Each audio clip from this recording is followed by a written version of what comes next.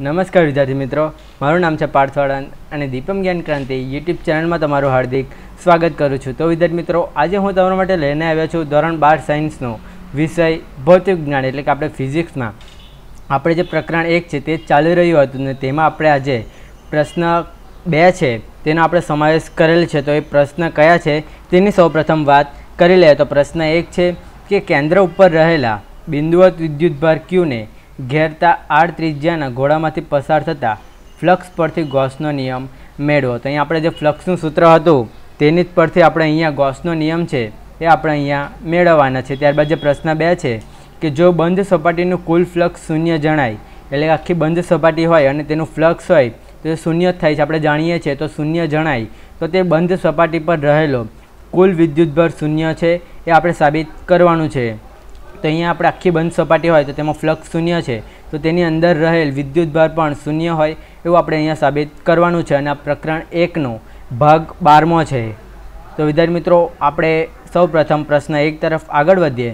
એ પહેલાં હું તમારે, તમને જો આ વીડિયો પસંદ પડે તો વિડીયોને લાઇક કરજો, વિડીયોને શેર કરજો અને જો ચેનલ પર નવા હો તો ચેનલને સબસ્ક્રાઈબ કરવાનું ના ભૂલતા અને બે લાઇકનને પણ જરૂરથી પ્રેસ કરી દેજો. તો આપણે જે પ્રશ્ન એક છે તે તરફ આગળ વધીએ. તો પ્રશ્ન એક છે કે કેન્દ્ર ઉપર રહેલા બિંદુવત વિદ્યુતભાર ક્યુ ને ઘેરતા આઠ ત્રિજ્યાના ઘોડામાંથી પસાર થતા ફ્લક્સ પરનો ગોસનો નિયમ મેળવો. તો અહીંયા તમે જોઈ શકો છો કે ગોરો દર્શાવેલ છે અને તેના મધ્યમાં ક્યુ બિંદુ ક્યુ છે તે વિદ્યુતભાર રહેલો છે તેના કેન્દ્ર ઉપર.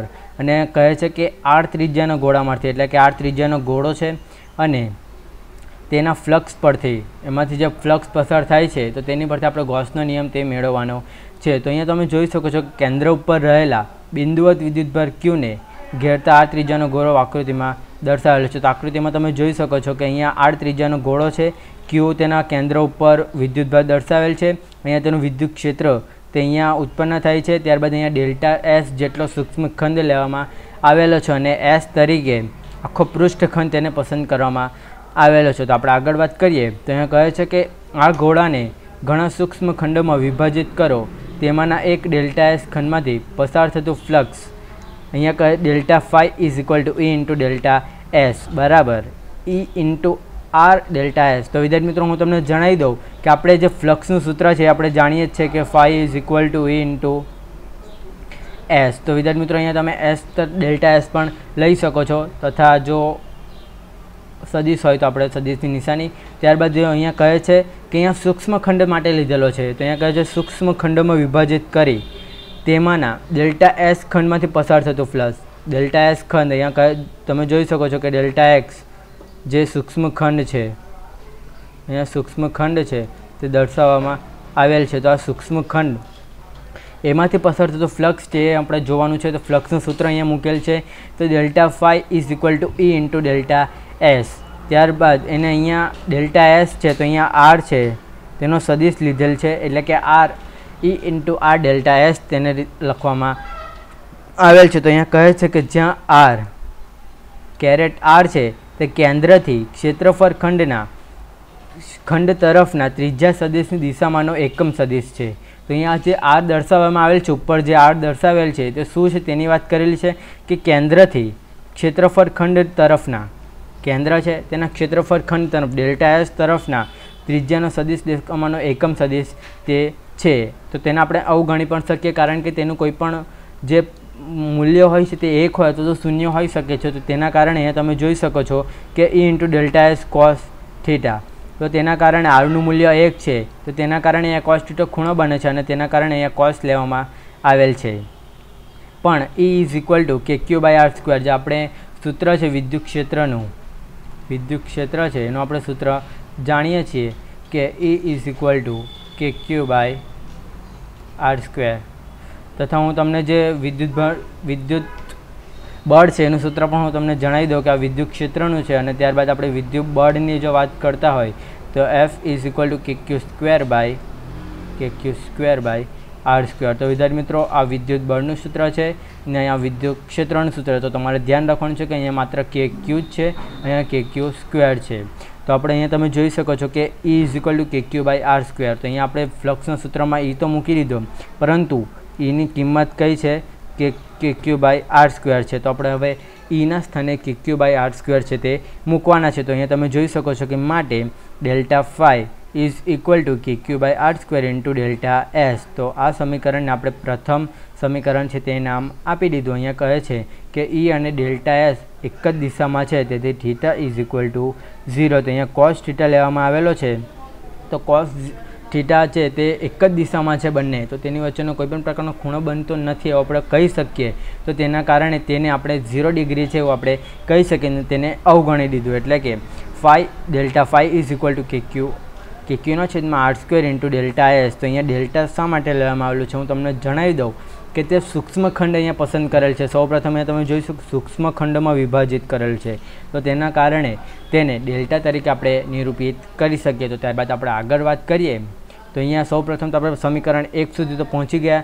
ત્યારબાદ અહીંયા કહે છે કે ગોળામાંથી પસાર થતું કુલ ફ્લક્સ દરેક ક્ષેત્રફળ ખંડોને લીધે મળતા ફ્લક્સના સરવાળા જેટલું હોય છે. એટલે કે ગોળામાંથી જો પસાર થતું કુલ ફ્લક્સ, ગોળામાંથી જો પસાર થતું કુલ ફ્લક્સ હોય, તો દરેક ક્ષેત્રફળ ખંડોને લીધે, એટલે કે જે આપણે ડેલ્ટા એસ છે, જે ક્ષેત્રફળ ખંડ, આપણે સૂક્ષ્મ ક્ષેત્રફળ ખંડ કલ્પેલો છે, તે ક્ષેત્રફળ ખંડોને લીધે મળતા ફ્લક્સના સરવાળો જેટલું હોય છે. એટલે જો આપણે ફ્લક્સનો સરવાળો કરીએ, તો તેના જેટલું તે મળે છે એવું અહીંયા કહેવામાં આવેલ છે. તો તેના કારણે phi is equal to sigma delta S, K Q by R square into delta S. તો અહીંયા કહે છે કે ડેલ્ટા એસ જેટલું જો સંપૂર્ણ હોય, અહીંયા જો સૂક્ષ્મ ખંડ હોય તે સંપૂર્ણ, જો એસ જેટલું હોય તો અહીંયા કહે છે કે સિગ્માના નીચે, એટલે કે આપણે તેની નીચે આપણે દર્શાવીએ છીએ કે સિગ્મા હોય, તો કોઈપણ પ્રકારનું સંખ્યા હોય તો I is equal to one two એ રીતે આપણે દર્શાવીએ છીએ અને ઉપર આપણે કોઈપણ સંખ્યા દર્શાવીએ છીએ.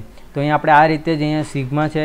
તો એ રીતે અહીંયા દર્શાવેલ છે. તો અહીંયા ડેલ્ટા એસ સુધી છે અને K Q by R square into delta S એટલે કે આ ફાઈ છે તેની આ સંખ્યા મળી ગઈ. ત્યારબાદ અહીંયા કહે છે કે ઘોડાનો દરેક ક્ષેત્રફળ ખંડ વિદ્યુત ભારથી સમાન આર અંતરે છે. એટલે કે દરેક ખંડ છે આર ત્રિજ્યાનો ઘોડો છે ઘોડો છે, તે આર ત્રિજ્યાનો છે આર ત્રિજ્યાનો છે અને ડેલ્ટા એસ અહીંયા આવેલ છે. તો વિદ્યાર્થી મિત્રો, અહીંયા આપણે જો કરીએ, અહીંયા પણ આર જ છે. તો ડેલ્ટા એસ પણ તેનું અંતર કેવું થશે? એક જ થશે. અહીંયા પણ ડેલ્ટા એસ હોય તો અહીંયા પણ તેનું અંતર આર જ થશે. એટલે કે અહીંયા દરેક ક્ષેત્રફળ ખંડ વિદ્યુત ભારથી સમાન આર અંતરે છે. માટે phi is equal to K Q by R square sigma delta S into delta S. તો અહીંયા જે સિગ્મા છે તેને પાછળ લીધેલો છે, કારણ કે તેમનું વચ્ચેનું અંતર છે તે બધું સમાન છે. માત્ર આર જ છે.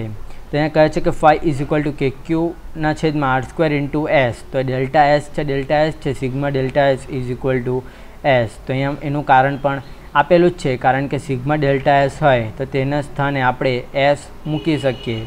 ઓકે? તો અહીંયા કહે છે કે ડેલ્ટા એસ સૂક્ષ્મ છે અને આખો પૃષ્ઠખંડ છે. તો હું તમને જણાવી દઉં કે આખો પૃષ્ઠખંડ છે. પૃષ્ઠખંડ અને આ સૂક્ષ્મખંડ છે. સૂક્ષ્મખંડ. તો વિદ્યાર્થી મિત્રો, આ સૂક્ષ્મખંડ છે તે, અહીંયા સિગ્માનો મિનિંગ શું છે તેની વાત કરી દઉં તો અહીંયા સિગ્મા દર્શાવેલ છે અને અહીંયા ડેલ્ટા એસ છે. તો આખો એવું કહી શકીએ કે ડેલ્ટા એસ છે સૂક્ષ્મખંડ છે તે આખો પૃષ્ઠખંડનો જ ભાગ છે. તો તેના ઇઝ્યુકલ ટુ પણ આપણે એસ છે તે આપણે લખી શકીએ. એટલે પૃષ્ઠખંડ છે તે જ નાનો એનો ભાગ, સૂક્ષ્મખંડ છે. તો અહીંયા ફાઈ ઇઝ્યુકલ ટુ કે ક્યુના છેદમાં આર સ્ક્વેર ઇન્ટુ એસ થઈ ગયો. તો અહીંયા કહે છે કે S is equal to four pi R square. તો અહીંયા સૂક્ષ્મ જે ખંડ છે, ખંડનું પૃષ્ઠખંડ છે, તેનું સૂત્ર છે કે એસ ઇક્વલ, આપણે જાણીએ છીએ ફોર પાઈ આર સ્ક્વેર. તો વિદ્યાર્થી મિત્રો, આ સૂત્ર પણ તમારે ધ્યાન રાખવાનું છે. હું તમને બધા સૂત્ર છે તે આગળ પણ તમને વિદ્યુત ક્ષેત્ર વિદ્યુત બળનું સૂત્ર કહી ગયું. હવે અહીંયા જે પૃષ્ઠખંડ છે તેનું સૂત્ર દર્શાવેલ છે. તો અહીંયા આપણે એસની કિંમત મૂકી દેવાની છે. એટલે phi is equal to K કેના છેદમાં four pi epsilon zero R square into four pi R square. તો વિદ્યાર્થી મિત્રો, અહીંયા કેનું સૂત્ર છે એ પણ તમે જાણતા જ હશો કે one upon four pi epsilon zero. તો અહીંયા કેની કિંમત મૂકેલી છે. One upon four pi epsilon zero q ના છેદમાં r square into four pi r square. તો વિદ્યાર્થી મિત્રો, અહીંયા four pi four pi cut થઈ જશે. અહીંયા આર સ્ક્વેર પણ કટ થઈ જશે. તો માત્ર રહેશે ક્યુના છેદમાં એપ્સેલન ઝીરો. તો અહીંયા ફાઈ ઇઝ ઇક્વલ ટુ ક્યુના છેદમાં એપ્સાઇલોન ઝીરો તે આપણે જાણીએ જ છીએ કે તે કયો નિયમ છે? ગોસનો નિયમ. તો અહીંયા આપણે જે ગોસનો નિયમ છે તે આપણને મળી ગયો છે, તો કઈ રીતે મેળવ્યો? હું તમને ફરી જણાવી દઉં. તો વિદ્યાર્થી મિત્રો સૌ તો આપણે જાણીએ છીએ કે આખો જે ખંડ છે, જે ગોળો છે તે દર્શાવેલ છે તેમાં આપણે સૂક્ષ્મખંડ ડેલ્ટા એસ ધારી લેવાનો છે. ત્યારબાદ આપણે ફાઈનું સૂત્ર, એટલે કે જે ફ્લક્સ છે એનું સૂત્ર મૂકવાનું છે, એટલે કે phi is equal to E into delta S આવ્યું જે સૂત્ર છે, હું તમને અહીંયા કહી ગયો. તે સૂત્ર અહીંયા તમારે ધ્યાન રાખવાનું છે, એ સૂત્ર તમારે મૂકવાનું છે. ત્યારબાદ અહીંયા આરની કિંમત આર શા માટે મૂકવામાં તમે ન મૂકશો તો પણ ચાલશે, પરંતુ અહીંયા આર એકમ સદિશ છે તે દર્શાવવું પડે. તેના કારણે અહીંયા આર દર્શાવેલ છે. ત્યારબાદ અહીંયા આર એકમ સદિશ છે, તેને આપણે અવગણી શકીએ. એક તેની કિંમત આવે, મૂલ્ય એક આવે, તો તેને આપણે અવગણી શકીએ. તેના કારણે અહીંયા તેની ખૂણો બને અને તેને કોસ્ટ થીટા દર્શાવેલ છે. કોસ્ટ થીટામાં પણ તેની જે મૂલ્ય છે તે શૂન્ય આવે છે, શૂન્ય ડિગ્રી આવે છે. તેના કારણે એ અહીંયા ઈ ઇન્ટુ ડેલ્ટા એસ માટે તેટલું જ રહે છે. પરંતુ એની કિંમત કે ક્યુ બાય આર સ્ક્વેર છે.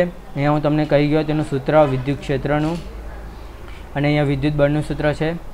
તો વિદ્યાર્થી મિત્રો, અહીંયા ઈની કિંમત મૂકવાની છે. ઈની કિંમત મૂકીએ એટલે સમીકરણ એક મળે. સમીકરણ એક મળે.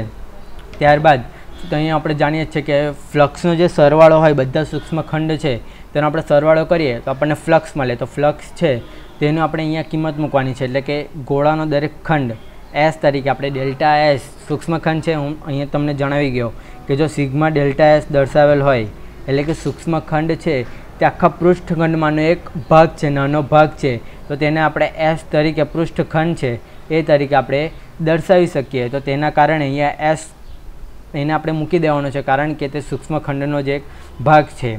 અહીંયા એફની કિંમત ફોર બાય આર સ્ક્વેર છે, તે અહીંયા મૂકી દેવાની છે. તો તેના કારણે આપણે ક્યુ બાય એપ્સેલન ઝીરો જે ગોસનો નિયમ છે, તે અહીંયા આપણને મળી ગયો છે. ત્યાર ત્યારબાદ આપણે પ્રશ્ન બે છે. તેની વાત કરીએ તો પ્રશ્ન બે છે કે જો બંધ સપાટીનું કુલ ફ્લક્સ શૂન્ય જણાય, તો તે બંધ સપાટી પર રહેલો કુલ વિદ્યુતભાર શૂન્ય હોય. તો આખી બંધ સપાટી દર્શાવેલ છે, અહીંયા નળાકાર છે. જો તેમાં શૂન્ય જણાય, ફ્લક્સ શૂન્ય જણાય તો તે બંધ સપાટી પર રહેલો કુલ વિદ્યુતભાર પણ શૂન્ય હોય. તો આપણે જાણીએ છીએ કે કોઈ પણ બંધ સપાટી હોય, તો તેમાં જો ફ્લક્સ શૂન્ય હોય, તો તેમાં કુલ વિદ્યુતભાર શૂન્ય થશે. અથવા જો આપણે એવું કહી શકીએ કે તેમાં વિદ્યુતભાર ન હોય, તો તેમાં ફ્લક્સ પણ શૂન્ય હોય. તો અહીંયા કહે છે કે જો બંધ સપાટીમાંથી પસાર થતું કુલ વિદ્યુત ફ્લક્સ શૂન્ય છે, તેથી તે સપાટી વડે કોઈ વિદ્યુતભાર ઘેરાતો નથી. ફ્લક્સ જ ઉત્પન્ન ન થતો હોય તો તેમાં વિદ્યુતભાર ન હોય અથવા જો જો વિદ્યુતભાર ન હોય તો ફ્લક્સ ઉત્પન્ન ન થાય. બંને વિપરીત છે. તમે કોઈપણ રીતે બોલી શકો છો. તો અહીંયા આકૃતિમાં દર્શાવેલ છે. કોઈપણ પ્રકારનો વિદ્યુતભાર દર્શાવેલ નથી. તો તેના કારણે જે ફ્લક્સ છે તે શૂન્ય છે. તો એ આપણે સાબિત કરવાનું છે કે કુલ વિદ્યુતભાર પણ શૂન્ય હોય. તો એ સાબિતી આપણે શરૂ કરીએ તો અહીંયા કહે છે કે ધારો કે સમાન વિદ્યુત ક્ષેત્ર ઈમાં બંધ નરાકાર એવી રીતે મૂકેલો છે કે જેથી તેની અક્ષ સમાન વિદ્યુત ક્ષેત્રને સમાંતર રહે. તો અહીંયા આપણે જે નળાકાર છે એવી રીતે મૂકેલો છે કે જેથી અક્ષ છે તેની વિદ્યુત ક્ષેત્રને સમાન રહે. તો અહીંયા વિદ્યુત ક્ષેત્ર છે તે અહીંયા જમણી બાજુ દિશામાં લાગી રહ્યું છે. અહીંયા વિદ્યુત ક્ષેત્ર અહીંયા લાગી રહ્યું છે જમણી બાજુમાં તથા નળાકાર એવી રીતે મૂક્યો કે તેને સમાંતર રહે. નળાકારના વર્તુળાકાર આઠ છેડ એક અને બેમાંથી પસાર થતું કુલ ફ્લક્સ, ધારો કે અનુક્રમે ફાઈ વન અને ફાઈ ટુ છે. નળાકારની વક્ર સપાટીમાંથી પસાર થતો ફ્લક્સ ફાઈ થ્રી છે, જે નીચે આકૃતિમાં દર્શાવેલ છે. તો વિદ્યાર્થી મિત્રો, અહીંયા જે ભાગ એક છે, એટલે કે ગોળાકાર સપાટી છે, તેમાંથી અને ગોળાકાર સપાટી બે, એમાંથી ફાઈ વન અને ફાઈ ટુ અનુક્રમે ફ્લક્સ છે તે પસાર થાય છે અને ત્યારબાદ અહીંયા ઉપરની તરફ પણ ફાઈ થ્રી જે ફ્લક્સ છે તે પસાર થાય છે, કારણ કે આખી બંધ સપાટી છે. અને આપણે એવું ધારી લીધેલું છે કે તેમાં કુલ વિદ્યુતભાર રહેલો છે. તો તેના કારણે ડાબી બાજુ, જમણી બાજુ અને ઉપરની તરફ જે ફ્લક્સ છે તે આપણે ધારી લીધેલું છે કે તે પસાર થાય છે. ત્યાં કહે છે કે એક ભાગ આગળ વિદ્યુત ક્ષેત્ર અને ક્ષેત્રફળ સદિશ પરસ્પર વિરુદ્ધ દિશામાં છે. તો સૌપ્રથમ અહીંયા જે ભાગ એક છે, તો તેમાં તમે જોઈ શકો છો કે વિદ્યુત ક્ષેત્ર અને ક્ષેત્રફળ સદિશ ત્યાં ક્ષેત્રફળ સદિશને એસ તરીકે લીધેલો છે. હું તમને અહીંયા લખીને દર્શાવી દઉં કે ક્ષેત્રફળ સદિશ છે. ક્ષેત્રફળ સદિશ તો તેને આપણે એસ તરીકે લીધેલો છે. તો અહીંયા એસ વન અને અહીંયા જે વિદ્યુત ક્ષેત્ર છે તે બંને કેવા છે? વિરુદ્ધ દિશામાં છે. વિદ્યુત ક્ષેત્ર. તે બંને કેવા છે? વિરુદ્ધ દિશામાં છે. ને અહીંયા કહે છે કે ભાગ બે પાસે વિદ્યુત ક્ષેત્ર અને ક્ષેત્રફળ દિશા એક જ દિશામાં છે. તો અહીંયા તમે જોઈ શકો છો કે એસ ટુ અને ઈ તે કેવા એક જ દિશામાં છે. બંને જમણી દિશામાં જ છે તથા ત્રણ ભાગ આગળ વિદ્યુત ક્ષેત્ર અને ક્ષેત્રફળ દિશા પરસ્પર લંબ છે. તો અહીંયા તમે જોઈ શકો છો કે અહીંયા જે વિદ્યુત ક્ષેત્ર છે તે ઈ આ તરફ પસાર થાય છે અને ઉપરની તરફ જે ફાઈ છે, ફાઈ થ્રી, તે ઉપરની તરફ છે, એટલે કે તે કેવો છે, લંબ છે. તો અહીંયા આપણે ભાગ ત્રણની વાત કરીએ, એટલે કે જમણી બાજુ, ડાબી બાજુ અને ઉપરની તરફની વાત કરીએ. તો હવે ત્રણે ત્રણ બાજુમાંથી જે ફ્લક્સ પસાર થાય છે, તેની વાત કરીએ અને તેનું સૂત્ર મેળવ્યું તો અહીંયા કહે છે કે આથી દરેક ભાગમાંથી અનુક્રમે પસાર થતું ફ્લક્સ. તો અહીં આપણે ફ્લક્સ છે, તેનું સૂત્ર મેળવીએ. તો phi one is equal to minus E S one. તો આપણે જે ફાઈનું સૂત્ર છે, તે આપણે જાણીએ છીએ કે ઈ એન ટુ એસ. તો આ સામાન્ય સૂત્ર છે, તમારે ધ્યાન રાખવાનું છે, તથા જો આપણે તેને સદીશમાં દર્શાવવું હોય, તો આ રીતે તેને દર્શાવી શકીએ છીએ ઉપર સદીશની નિશાની હવે વધારે કંઈ નથી, તો અહીંયા અહીંયા phi one is equal to minus E S one તો વિદ્યાર્થી મિત્રો, અહીંયા માઇનસ શા માટે આવ્યું? હું તમને જણાવી દઉં, કારણ કે તેઓ કેવા છે? વિરુદ્ધ છે, બંને વિરુદ્ધ છે. વિદ્યુત ક્ષેત્ર અને જે ખંડ છે તે બંને કેવા છે? વિરુદ્ધ દિશામાં છે. તો તેના કારણે જે નિશાની છે તે કંઈ? ઋણ આવી. ત્યારબાદ અહીંયા ફાઈ ટુ છે, એટલે કે જે બીજો ભાગ છે, તેમાંથી પસાર થતું ફ્લક્સ ઈ એસ ટુ બંને એક જ દિશામાં છે. તેના કારણે ત્યારબાદ અહીંયા અહીંયા ફાઈ થ્રી છે તે શૂન્ય છે, કારણ કે તે એકબીજાને લંબ છે. લંબ છે તો cos ninety ninety is equal to zero cos ninety zero છે, તો તેના કારણે અહીંયા ફાઈ થ્રી છે તે ઝીરો છે. અહીંયા તેનું કારણ પણ આપેલું જ છે કે વિદ્યુત ક્ષેત્ર અને એસ છે તે બંને લંબ છે. જ્યાં એસ વન અને એસ ટુ એ અનુક્રમે એક અને બે ભાગ પાસેના ક્ષેત્રફળ છે. આપણે આગળ વાત કરી ગયા કે એક અને બે શું છે? એક અને ભાગ બે છે, જે વર્તુળ હતું. એક અને બે પાસેના ક્ષેત્રફળ છે, બંનેના ક્ષેત્રફળ છે. નળાકાર સમાન હોવાથી S one is equal to S two is equal to S. તો અહીંયા જે એસ વન અહીંયા છે, ત્યારબાદ અહીંયા એસ ટુ છે. અને ઉપરની તરફ એસ છે, તો આ બધા કેવા છે? સમાન છે. તો અહીંયા કહે છે કે નળાકારમાંથી પસાર થતું કુલ ફ્લક્સ. હવે નળાકાર છે, તેમાંથી પસાર થતું કુલ ફ્લક્સ. આપણે એવું ધારી લીધું છે કે તેમાં માત્ર કુલ વિદ્યુતભાર છે. તો આપણે અહીંયા સાબિત કરવાનું છે કે કુલ વિદ્યુતભાર ન હોય તો પણ તે શૂન્ય થાય છે. તો આપણે તેનો સરવાળો કરવાનો છે કે phi is equal to phi one plus phi two plus phi three તો અહીંયા આપણે ફાઈવ વનની કિંમત માઇનસ ઈએસ ફાઈ ટુની કિંમત ઈએસ અને ફાઈ થ્રીની કિંમત ઝીરો તો અહીંયા તેનો આન્સર આવશે ઝીરો કારણ કે માઇનસ અને અહીંયા પ્લસ છે તે બંને વિરુદ્ધ છે તે તેઓ કટ થઈ જશે અને phi is equal to zero આમ, બંધ નળાકારમાંથી પસાર થતું કુલ ફ્લક્સ કેવું છે? શૂન્ય છે. તો અહીંયા નળાકારમાંથી પસાર થતું કુલ ફ્લક્સ શૂન્ય મળે છે, કારણ કે જો આપણે તેનો સરવાળો કરીએ ત્રણે ત્રણ બાજુમાંથી પસાર થાય છે ફ્લક્સ, તેનો આપણે સરવાળો કરીએ તો તે કયો આવે છે? શૂન્ય. તો નળાકારમાંથી પસાર થતું કુલ ફ્લક્સ શૂન્ય છે, બંધ નળાકાર. આ તમારે ધ્યાન રાખવાનું કે જો બંધ નળાકાર આવે તો તમને એમસીક્યુમાં પણ પૂછાઈ શકે છે કે બંધ નળાકારમાંથી પસાર થતું ફ્લક્સ કેટલું હોય? તો તેનો આન્સર આવશે શૂન્ય. હવે અહીં કહે છે કે ગોસના નિયમ પરથી અહીંયા તેનું ગોસના નિયમ આપણે આગળ સાબિત કરી ગયા કે phi is equal to q by epsilon zero પણ અહીંયા sigma q by epsilon zero લીધેલ છે. કોઈપણ પ્રકારનું અહીંયા આવી શકે છે. અહીંયા સિગ્મા છે. તો અહીંયા sigma q is equal to પણ કેવું થશે? ઝીરો થશે. કારણ કે તે આખી કિંમત કેવી છે? શૂન્ય. એટલે કે નળાકારની બંધ સપાટીમાં રહેલો કુલ વિદ્યુતભાર કેટલો છે? શૂન્ય. તો અહીંયા બંને સાબિતી થઈ ગઈ છે. તો આપણે સાબિત કરવાનું હતું કે જે નળાકારમાંથી પસાર થતું ફ્લક્સ કેવું હોય? શૂન્ય. પણ હું તમને કહી ગયો હતો કે જો ફ્લક્સ પસાર ન થાય તો તેમાં વિદ્યુતભાર ન હોય એટલે વિદ્યુતભાર પણ કેવો હોય?